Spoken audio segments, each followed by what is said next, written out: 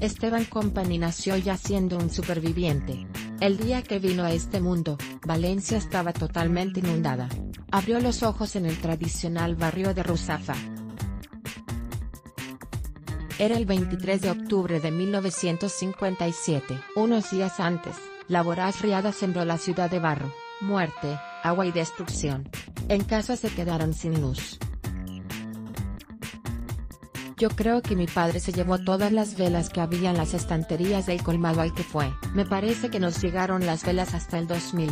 Las llamábamos las velas del 57. A él, teniente coronel de la Guardia Civil, siempre le ha alumbrado el humor en su vida, un arma de supervivencia. Optimismo para salir adelante después de volar literalmente por los aires al borde de la muerte tras cruzarse en el camino de 150 kilos de explosivos colocados en una autovía de Guipúzcoa por Antonio López Ruiz Cubati. Ocurrió en 1986. Pero al guardia valenciano aún le hierve la sangre. Hoy más que nunca. El hombre con el que habla el gobierno es el etarra que intentó matarme, sin conseguirlo. El terrorista al que Sánchez ha puesto en una mesa oficial, no es que tenga las manos manchadas de sangre, es que le chorrea, apunta el agente en una entrevista exclusiva concedida a las provincias. Yo no quiero protagonismo, pero tengo una responsabilidad, que no se olvide lo que pasó el valiente Gudari José Antonio López Ruiz Cubati, responsable de múltiples atentados con varios muertos, entre ellos el de su excompañera de banda Joyes es el mismo que 14 días antes de este asesinato intentó matarme sin conseguirlo. Desde ese día, 27 de agosto de 1986, diariamente lo tengo presente en mis oraciones. Este el sarcástico mensaje que el teniente coronel envió ayer a muchos de sus conocidos, desde su despacho del cuartel de Benimaclet, en el que sigue en activo como jefe de la sección de apoyo de la zona. Yo no quiero protagonismo, pero tengo una responsabilidad, que no se olvide lo que pasó. Y es infame que este señor, con más de una docena de muertes a sus espaldas, hable con el gobierno. Cubati fue uno de los elegidos por Pedro Sánchez en 2019 como interlocutor para dialogar con las tramas de apoyo a los presos de ETA, como ha venido publicando este periódico. El máximo responsable de instituciones penitenciarias, Ángel Luis Ortiz, mantuvo encuentros periódicos, regulares y sin intermediarios al menos en los primeros meses de la llegada de Pedro Sánchez a la Moncloa con los representantes de los presos de ETA sobre la mesa, tratar los acercamientos de presos a cárceles vascas. Forma más discreta, mejor, contestaba Cubati en algunos WhatsApps enviados al responsable de prisiones en referencia a las gestiones llevadas a cabo entre ambos para el movimiento de reclusos de ETA, una de las condiciones puestas sobre la mesa por Sorto a Sánchez, presos por seguir en la Moncloa. En 1986 Cubati era el jefe del Comando de Liberados Foyer Costa. El terrorista fue uno de los que decidió colocar aquel 27 de agosto de 1986 una trampa mortal bajo el puente del río Urmea, en la autopista Bilbao-Beovia. La detonaron con un cable. Estaban esperando a que pasáramos con el coche de la Guardia Civil. Menos mal que aquel día elegimos un vehículo blindado, porque normalmente no lo llevábamos, subraya Esteban. Sus palabras las lanza a menudo mientras se acaricia la pierna izquierda, la misma que se le quedó destrozada en el atentado. Anda y hace vida normal, pero sabe que un día esta pierna me acabará llevando a una silla de ruedas. Aquellos tiempos eran malos, pero estos son peores. Los traidores están dentro del coche voló por los aires. Yo me quedé atrapado por la puerta pero logré salir.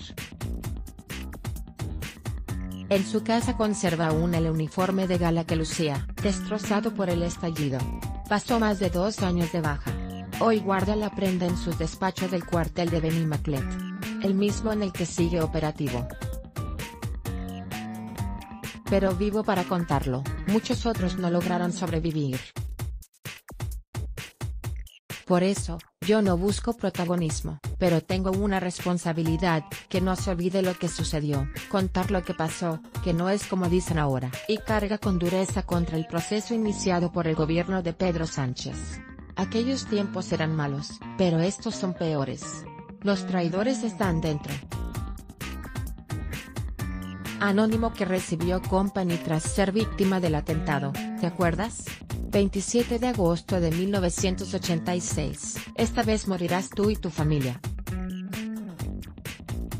Barra LP en su despacho de Benny Maclet tiene varias carpetas con los recuerdos macabros de aquel día que casi le cuesta la vida. El anónimo que recibió con letra grotesca y que le decía, ¿te acuerdas del 28 de agosto? Esta vez morirás tú y tu familia.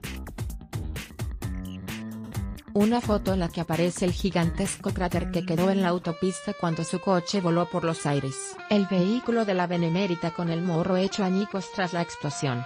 El cable del explosivo empleado por el comando asesino. Los rastros de los planes macabros de Letarra que ahora entra en despachos del gobierno. Pero qué cuajo hay que tener para sentarse a hablar con un señor así.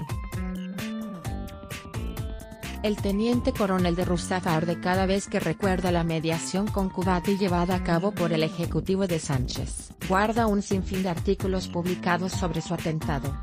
Documentación sobre el comando que encabezaba el hoy negociador.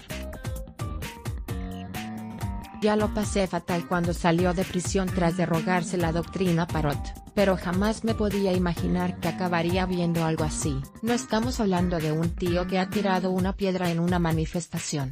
Uotagi, que ha sido condenado por terrorismo, como cabeza visible de Eri Batasuna. No, no, este es un tipo que ponía bombas y disparaba, alguien a quien se le escurre la sangre de las manos. El teniente coronel estuvo destinado en Guipúzcoa en los llamados años de plomo. En los 80, cuando raro era el telediario que no habría con el asesinato de un militar o miembro de las fuerzas de seguridad. Sabe bien que todos los partidos políticos han negociado con ETA. En eso no entrábamos, nosotros estábamos a nuestros temas operativos y no nos metíamos en política. Company era amigo de Antonia Asunción, valenciano y ministro entre 1993 y 1994. Hablábamos mucho de cosas así. Pero Kubati es sencillamente un asesino. No estamos hablando de un tío que ha tirado una piedra en una manifestación. Uotagi, que ha sido condenado por terrorismo, como cabeza visible de Batasuna. No, no, este es un tipo que ponía bombas y disparaba, alguien a quien se le escurre la sangre de las manos. El valenciano recuerda muy bien quién era Kubati dentro de la cárcel, un psicópata. Lo conoce muy bien, tras mucho tiempo vigilándolo. No desconoce el porqué de su apodo.